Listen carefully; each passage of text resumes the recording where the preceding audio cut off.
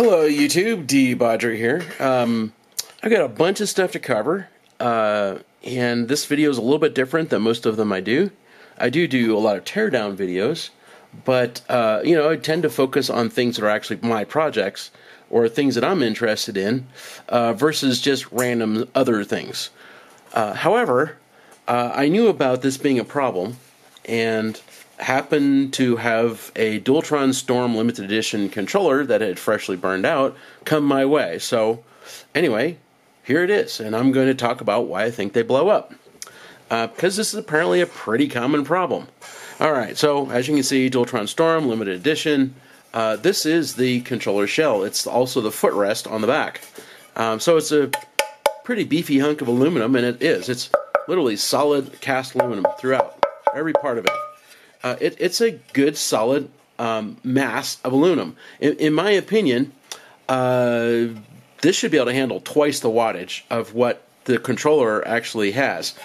Uh, you know, I, I have 24 FET controllers that are 22 kilowatts that have less aluminum mass around them than this, and they don't go into thermal runaway and blow up. So this is gracious plenty. It's a big hunk of cast aluminum. It should do the trick. My understanding is is that initially they did not have this machine surface on it, instead that these little fins went all the way through here, um, which, again, in my opinion, should have been gracious plenty. Uh, I, I, honestly can't say that you needed more here. But, hey, controllers were blown up, and so Dualtron said, oh, well, let's slap a heatsink on there. So they machined that flat, uh, came up with this thing, which isn't aluminum. It's like zinc or something. I don't know what this is. Uh, it's not aluminum. It doesn't feel like aluminum. There's this machine spot on it that's the wrong color for aluminum. You know, aluminum shiny like this, and that's gray. I don't know what this is. It's not aluminum. It feels wrong. It it rings wrong. Everything about this says not aluminum. Um, you know, pot metal or something, zinc. Anyway, that did have thermal paste underneath it, and I screwed down right there, and then screwed into the heat spreader. Um, so seemed like a good idea, but it's not.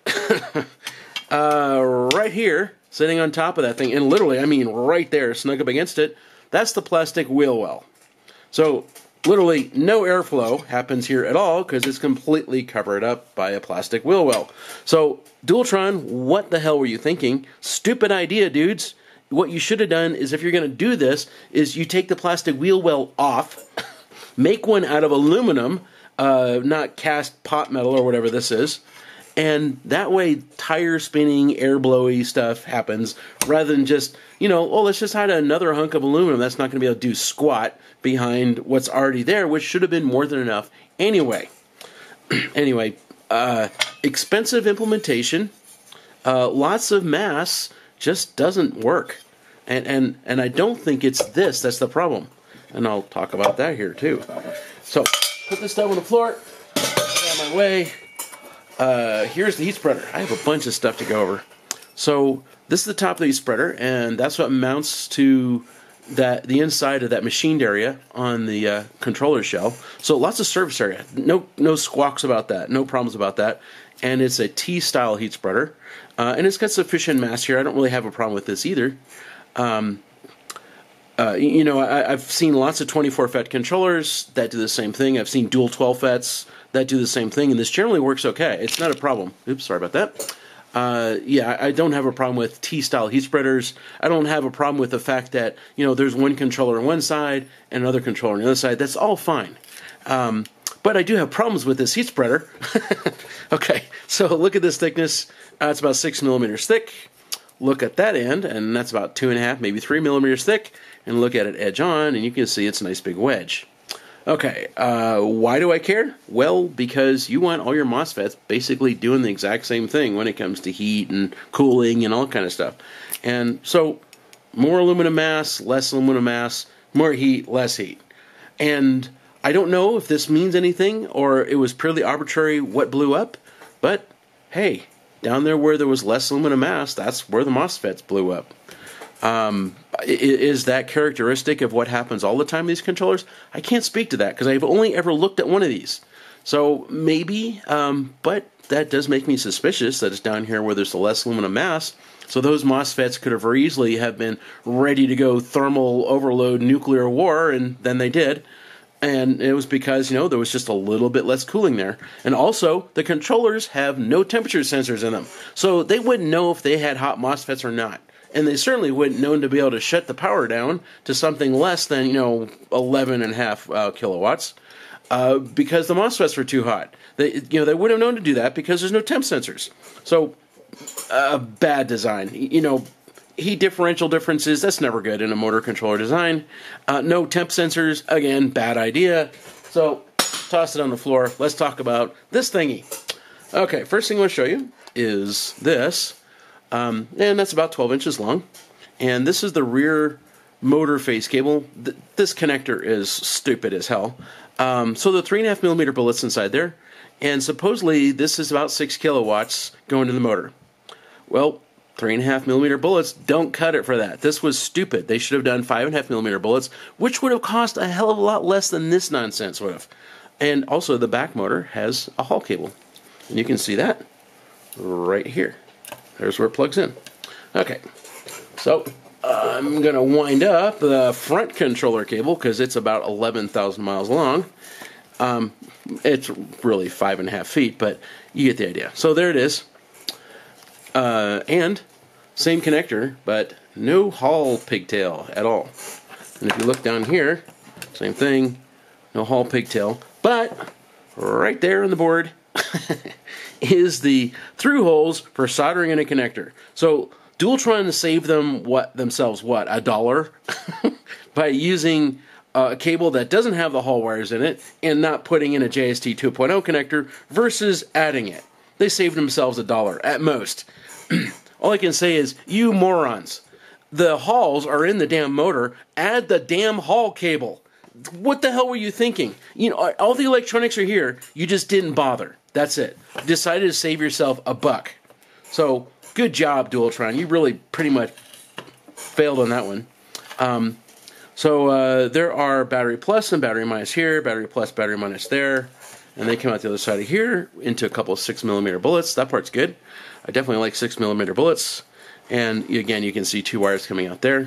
So uh, from here and from here, you basically have two mirror images of the exact same thing. There's almost no differences other than like a Hall connector and the fact that you know like all the input signals come over here and then split to both. Otherwise, they're electrically identical.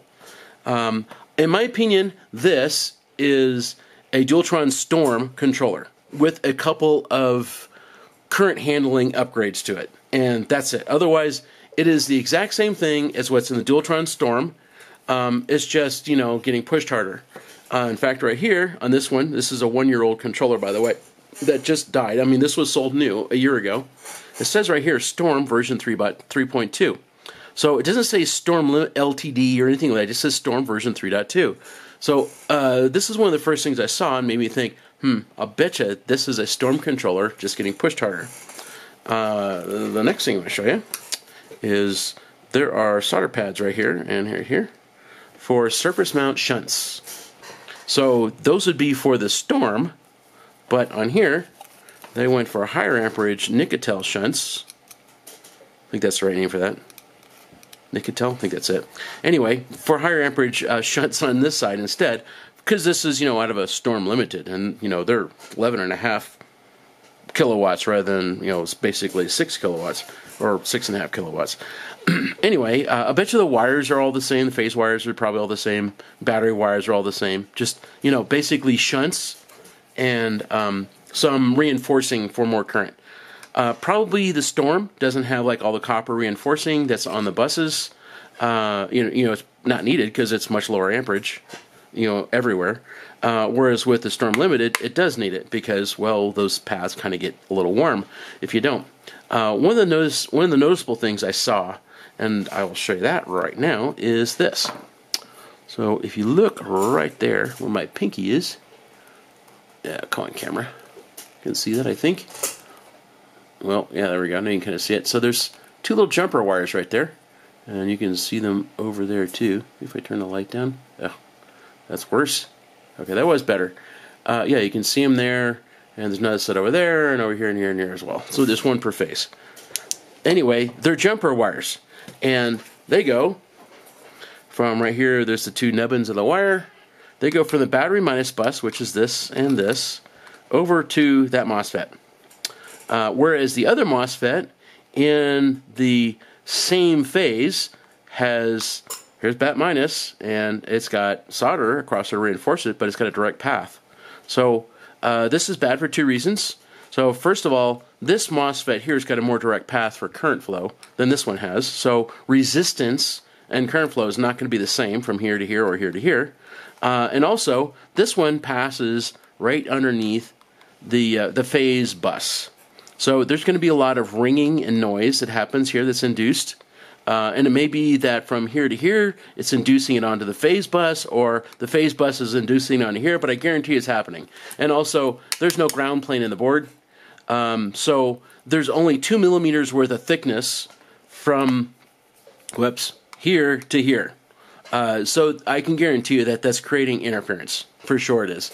Uh, and, and this could be easily detected with an oscilloscope, most likely. Whereas this one here, that's not the case. You got a direct path straight to the MOSFET leg. That's not a problem. This is used every day. Great design. Do that, please, always. Do this never. This is a bad design. Using a jumper, really? Most likely, and this is another one of those reasons why I think that this is a storm controller that's been beefed up and pushed harder. Um, because uh, there is a rather thin uh, copper trace right through here, and probably for a storm, that's enough. Because it's only you know six thousand watts, right, across both controllers. So it really means like three thousand watts here. Um, whereas with this thing, you know, it's literally seeing 6,000 watts right there, and probably that little dinky trace burned out all the time, so they had to reinforce it with some jumpers. Uh, so, yeah, one of the reasons why I think that this is a storm controller just pushed harder. uh, and of course, I'll bet you anything the Storm didn't have the copper reinforcing, whereas for the Storm Limited uh, edition, it has to have them because otherwise, again, all those traces wouldn't be able to handle the current load. Uh, anyway, I think this is a Storm controller just pushed too hard. Uh, a couple good things about them. So the MOSFETs, so you know, again, this is one side, that's the other side. These are all MDP. Uh, what are NO27s? I think that's right. Oop, come on, light, do the right thing. There we go. MDP NO27. That's a Magnachip's part, and those are lovely MOSFETs. I use them all the time. Uh, very good component choice don't have an issue with them at all.